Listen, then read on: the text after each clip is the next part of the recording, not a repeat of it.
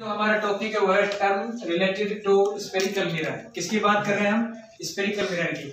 अब इसके लिए पहला पॉइंट है पोल पोल को डिनोट करते हैं हम पी से ठीक है? इसमें लिखा हुआ है centre point of reflecting surface of a spherical mirror is called pole क्या कह रहा है? क्या समझ में आया आप लोगों को? जो रिफ्लेक्ट होता है ना उसका सेंटर ये मिरर क्या है? मिरर है? क्या है? मिरर देखो मान के चलो मिरर ऐसा था ये. देखो इससे डिनोट किया है ना इसको. कैसे मिरर है सर्किल मिरर है। अगर मान के चलो मैं इसको इस तरीके से यहाँ से काट देता हूँ दो भागों में डिवाइड कर दिया मैंने इसको तो ये पॉइंट ऐसा तो तब भी रहेगा ये। ठीक है? इस मिरर का यानी यहाँ से और यहाँ तक जो मिरर बचा है शेष इसका जो मिडिल पॉइंट है उसको हम क्या कहते हैं? पोल पोल क्या कहते हैं? पोल ठीक है? किससे डिनोट करते हैं? पोल को। पी से। उसके बाद है दूसरा point centre of curvature curvature क्या है? सेंटर ऑफ़ कर्वेचर इसको डिनोट करते हैं हम सी से याद रखना। अब सी क्या है यहाँ पर। The centre of curvature is centre of that hollow glass sphere from which spherical mirror is formed क्या समझ में आया बोलो? सेंटर ऑफ़ कर्वेचर देखो। सेंटर ऑफ़ अब जो ये मान ये मेरा जो लेंस है पूरा ये मिरर इसका जो सेंटर है देखो ये लेंस कंप्लीट है ये वाला ये। इसका जो सेंटर है इसको हम क्या कहते हैं? सेंटर ऑफ़ कर्वेचर तो बोल किसको कहते हैं हम? इसको कहेंगे। अगर हम मैंने इसको मिरर को दो भागों में डिवाइड कर दे यहाँ से हटा दे जो इसका जो सेंटर उसको पोल कहते हैं और जो कंप्लीट जो मिरर है इसका जो सेंटर उसको क्या कहते हैं? सेंटर ऑफ़ कर्वेचर ये देखो ये लिखा हुआ सेंटर ऑफ़ कर्वेचर ठीक है?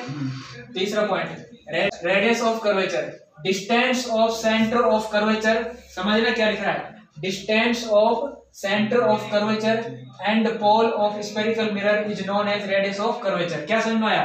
डिस्टेंस किस किस बीच में। पोल के बीच कर्वेचर और पोल के बीच की जो डिस्टेंस उसको हम क्या कहते हैं? रेडियस देखो ये क्या सी पॉइंट इसके और इसके बीच की जो ये है डिस्टेंस उसको क्या कहते हैं हम? रेडियस इसे डिनोट करते हैं मार से। ठीक है?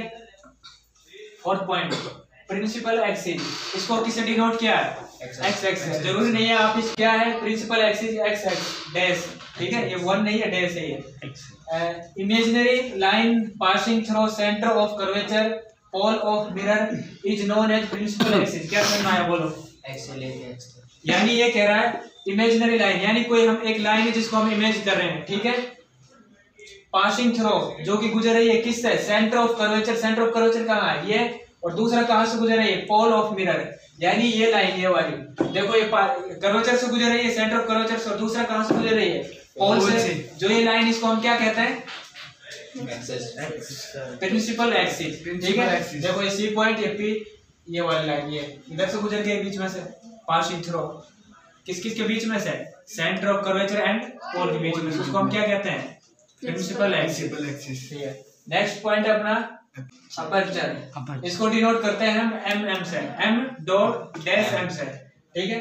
The diameter of spherical mirror is called its aperture क्या है? क्या समझ में बोलो. यानी ऐसे समझो. जो अपने जो पूरा मिरर है है ना? इसकी डिस्टेंस ये और ये पॉइंट ये वाला. यहाँ से और यहाँ तक. इसको हम क्या कहते हैं? एमएम इससे डिनोट किया हमने एम डैश एम से इसको क्या कहते हैं हम? एपरेचर क्या कहते हैं? एपरेचर ठीक है उसके बाद हम क्वेश्चन करेंगे देखना फिर कैसे हल करते हैं उसके बाद है प्रिंसिपल फोकस एक होता फोक्स एक होता फोकस क्या डिफरेंस है? फोकस मतलब फोकस मतलब अच्छे से फोकस करना। फोकस मतलब नॉर्मली फोकस मतलब ध्यान देना।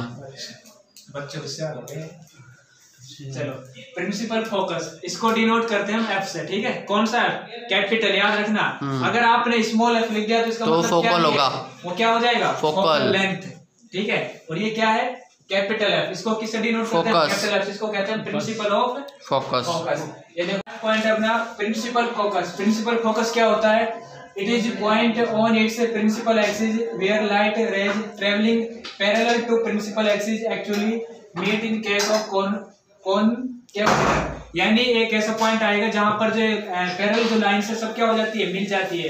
कौन से मिरर में? कौन के मिरर में? अगर हम दूसरी बात करते हैं किसकी? कॉन्वेक्स मिरर की? देखो मानकर चलो ये मेरा क्या है? कौन सा मिरर है ये? कौन के कौन के मिरर है? ठीक है यहाँ पर ये लाइट आई है देखो इस तरीके से। अभी लाइट क्या हो जाएगी? रिफ्लेक्ट होगी। ये तो कौन सी रे है इंसिडेंट रे है उसके बाद अभी लाइट क्या होगी टकराने के बाद वापस जाती है है ना? उसको कहते हैं हम रिफ्लेक्टेड देखो यहाँ से इधर गई। ये इधर ये इधर ये इधर ये इधर। अब देखो ये वाला जो पॉइंट है ये वाला यहाँ पर साथ सब एक साथ मिल गई है। इसको क्या कहते हैं हम? क्या कहते हैं? Focus point. फोकस पॉइंट क्या कहते हैं? फोकस फोकस यानी प्रिंसिपल ऑफ़ फोकस आया समझ में? ठीक उसके बाद देखो क्या फोकल लेंथ। इसको डिनोट करते हैं हम स्मॉल एफ़ से। ठीक है? किसे डिनोट करते हैं? स्मॉल एफ़ से। याद रखना इसको। फोकस जो मेरे प्रिंसिपल फोकस उसको डिनोट करते हैं हम कैपिटल एफ़ से। और जो फोकल लेंथ उसको डिनोट करते हैं स्मॉल एफ़ से। ये है distance between the pole and principal focus of spherical mirror is called its focal length क्या फोकस? पोल कहाँ है मेरा? देखो यहाँ पर क्या है ये पोल? ठीक है? यहाँ पर जब ये टकराएँगे इस तरीके से इंसिडेंट रे इसके बाद क्या क्या मिलेगा इंसिडेंट रे के टकराने के बाद क्या होगी? रिफ्लेक्ट होगी। देखो इस तरीके से रिफ्लेक्ट हो गई यार इधर। ये वाला जो पॉइंट है ये वाला यहाँ से इसको क्या नाम दिया हमने? एफ़ कैपिटल एफ़ यहाँ से और यहाँ तक की जो बीच की जो डिस्टेंस है उसको हम क्या कहते हैं?